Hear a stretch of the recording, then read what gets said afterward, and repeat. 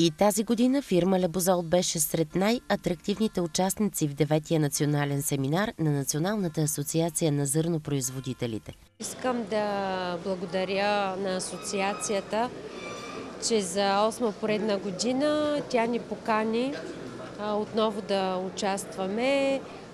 Вижда и, и ние виждаме в нея един добър партньор и ни предоставиха отново възможността да представим на всичките земеделски производители в цялата страна нашите нови акценти, нашите нови препоръки и нашите нови идеи за тази, за следващата година. Акцент презентацията на лидера в листното хранене са лошите климатични условия, които влияят отрицателно върху развитието на културите. Това е и мотото на новата кампания как Лебозол може да се справи с засушаването и високите температури и да противодейства на климатичния стрес. За пореден път компанията отчете решените ситуации и проблеми по българските полета, благодарение на листните торове Лебозол. Днес портфолиото на компанията предлага богат набор от продукти, разработени и формулирани с голяма грижа за растенията и в помощ на земеделците.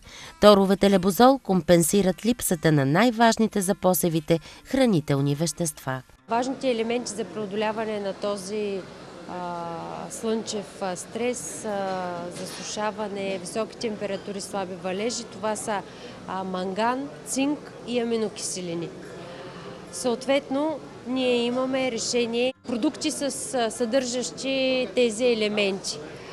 А, също така трябва да се отбележи, че давайки а, продукти с манган и цинк, а, не просто да даваме продукт, пишеш на етикета, че има манган и цинк, а трябва да съобразим а, необходимото количество като грам активно вещество на декар от единия и от другия елемент, за да постигнем наистина ефекта от а, слънчева радиация, от а, топло време и от засушаване.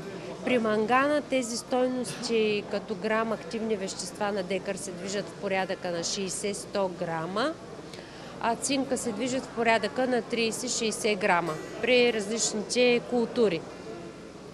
Ние, разбира се, имаме решения а, с а, продукти. Например, в а, мангана може да го решим с а, продукт наш манган нитрат, с манган амино, нитромикс, където, давайки необходимата доза, ние ще набавим точно този грамаж на активно вещество, който споменах. При цинка отново имаме решения цинк 700, микс за зърнено-житни, отново нитромикс, отново тримакс. Разбира се, също с дозите да набавим това активно вещество, да насичим растението с тези микроелементи, за да може то да се справи с лошите условия.